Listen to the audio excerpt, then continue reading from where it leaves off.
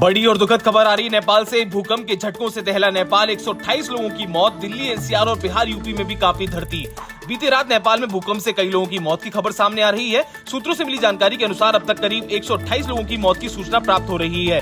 घटना रात की है, इसलिए धीरे धीरे जानकारी बाहर आ रही है। नेपाल के कई इलाकों में रेस्क्यू अभियान भी चलाया जा रहा है और हताहतों की जानकारी ली जा रही है। नेपाल में करीब छह दशमलव चार तीव्रता के साथ आए इस भूकंप का प्रभाव भारत के कई राज्यों में महसूस किया गया। दिल्ली, एनसीआर सहित बिहार और यूपी में भी झटके महसूस किए गए। एक समाचार एजेंसी के अनुसार नेपाल में भूकंप से रुकुम वेस्ट ज़िले में अधिक प्रभाव है, जहाँ मृतकों की संख्या बढ़ सकती है। रुकुम वेस्ट ज़िले के chief district officer Hari Prasad Pant के अनुसार अभी तक 36 लोगों की मौत की पुष्टि हुई है और आगे ये संख्या बढ़ सकती है। शुक्रवार आधी रात को नेपाल में छह दशमलव चार तीव्रता के साथ भूकंप आया जिसके कई झटके महसूस किए गए। भूकंप से हुई जानमाल की हानि पर नेपाल के प्रधानमंत्री पुष्पमल दहल प्रचंड ने शोक व्यक्त किया है। शनिवार सुबह वे भूकंप प्रभावित इलाकों के दौरे पर निकल गए हैं। दहल ने बताया कि लोगों को बचाने और रेस्क्यू चलाने के लिए तीन सिक्योरिटी एजेंसियों को काम पर लगाया गया है। जानकारी के मुताबिक Bheri hospital, Kolhapur medical college और नेपालगंज मिलिट्री हॉस्पिटल को इलाज के लिए एक्टिव कर दिया गया है।